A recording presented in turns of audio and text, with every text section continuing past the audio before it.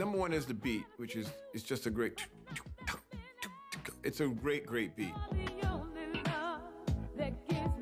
And then the melody line to Tawatha sings is really beautiful.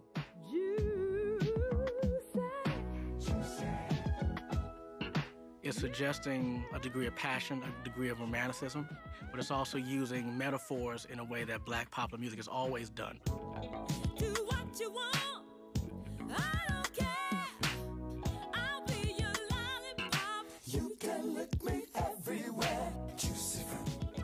The label felt some of the lyrics were a bit too risque. The lyric, you can lick me everywhere. Today, that ain't nothing.